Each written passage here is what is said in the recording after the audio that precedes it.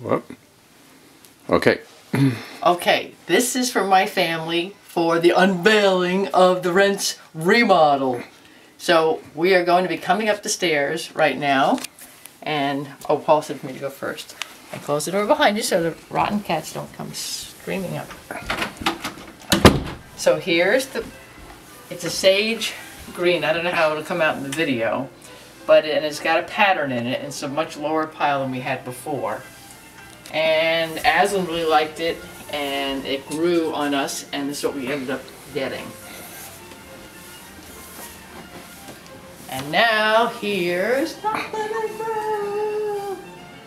And we don't have the curtains up yet, but we have new blinds. And I will demonstrate how they work. So, you take two hands up and go up. Or you can do it from the top. Pretty cool. So, it's that.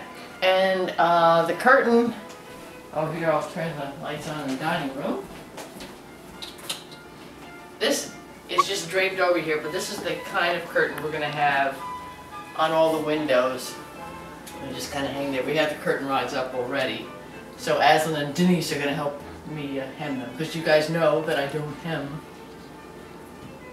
And we paint this one wall over here is a little bit darker than that, it's making an accent wall. And we carried that color through the kitchen. Um, so it goes all behind. And then here's the kitchen, here's the new quartz countertop they put in. And we have a new range top. Let's see. Range top, and then we got a wall oven. We got a screaming steel on them. We got them half price at Sears on a special three-day sale, plus 15% extra off because of uh, we used our Sears card, which of course we have to pay off, but that's fine. And then you'll notice the floor. This is the tiling. This has got grouting in between the tiles. This kind you could either grout or not grout. There are certain uh, vinyl tiles that that can't be grouted, so this was. It gives it more of a slate look. One of the contractors actually thought it was um, slate. And then um, then we painted the wood stove. We had had a flue fire. We got carried away and just almost burned the house down. And so all the paint had kind of bubbled up and stuff, and then we painted. And the top, of course my family will appreciate this, where we used to keep the fish bowls and all flower vases, because we didn't use this as a wood stove, with all rust, so that's painted, so that's good. And uh, obviously it's a high, high temperature heat. And this is going to be the last time you will see the place looking so pristine because I'm not cleaning anything else ever in my life. I've cleaned every single cabinet because we had to remove stuff.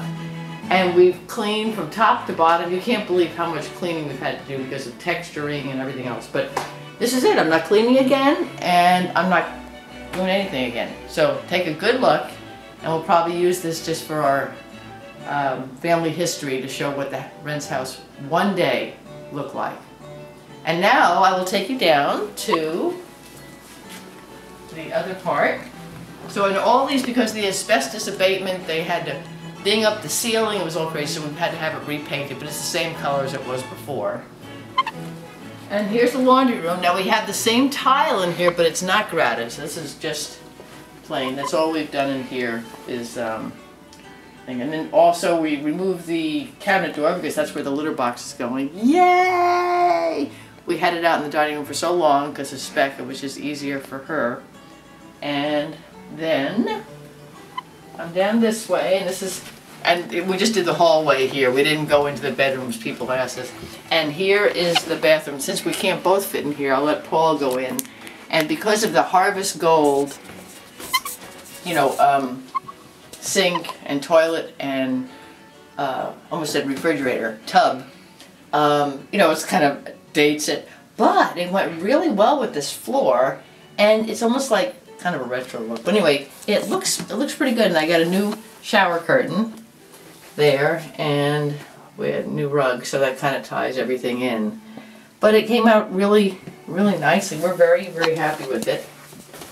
We've spent all our children's inheritance, but um, we uh, hope that if we ever sell the place, it will bring more money and we'll recoup.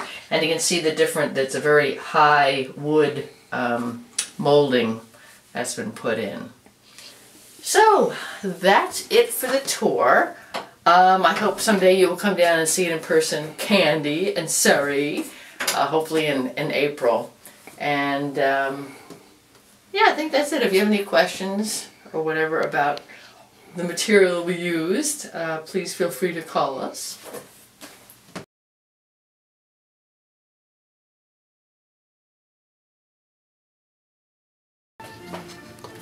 Oh, and here's, I forgot to show you, the sink also came with the, the quartz countertop. We had to use our old uh, faucet, but anyway, so it's much deeper here and really nice sink. So anyway, that's it. Yes, and you can push things right into it. No lip.